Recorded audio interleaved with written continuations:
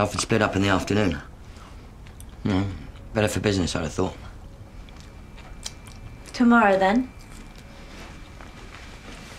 I'll leave work early. Listen, um, my wife and I, we believe in doing what little we can to help those less fortunate than ourselves. A meal, a hot bath, a few pounds in the pocket. Perhaps even a sense of possibility. You know, we like to think we give a small amount of hope to those who cross our paths. This is the first time you've been back. No, I, I've been back a few times. You know, over the years to try and. It must have been quite a shock. Big shock. You're alone? You know, all the doctors said so. Yeah, I'm sure. Shall we? Yeah. This way. I just need to know. Scott, what? Stay out of this! Shut it! Scott, Scott, calm down. Calm down, it's okay. What was so special about me? You saw something in me, didn't you? I was different to the other boys, wasn't I? You think they saw in you? That I'm just like them. And my son Daniel. I made his life hell. When he lied about where he was, you know, I, I beat him. You know, I thought I was going to kill him. It's because I didn't want you to tell anyone the truth. You chose me. You said I was lucky. I remember I said you were lucky because you had a family to go back to. Something I never had.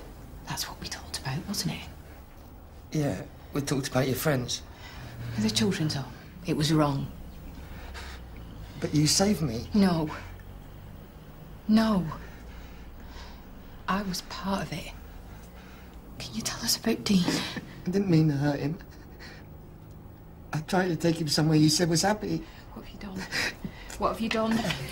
In this children's home. Is that where Dean is now? Is that where he is? Is he still alive, Scott? I'm so sorry. Let's go, go, go. I'm sorry. I'm sorry. I'm sorry. Sorry. Each eldest other. Trim. One has to look smart and presentable when one visits father. Uh, hello, Daddy. How are you? So great to see you again. Oh, you look so well. Yeah.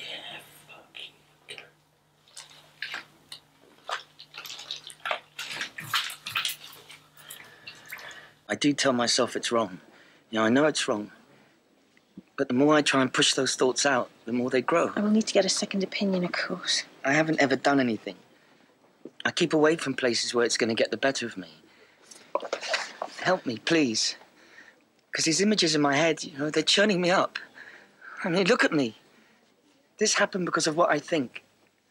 You know, I didn't do anything and I get treated like this. Yes. The area around the wound has to be removed, and you'll end up with a hole in your leg. Thanks for the warning, but I'm still going.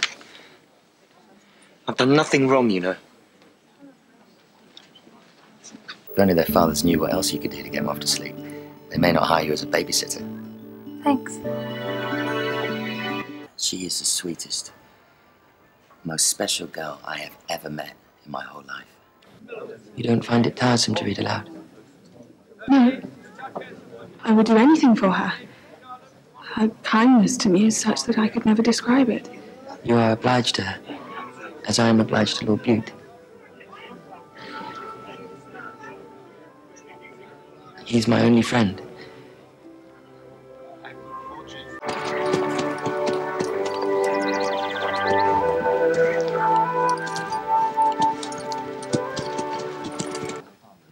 I suppose there are dozens in love with you.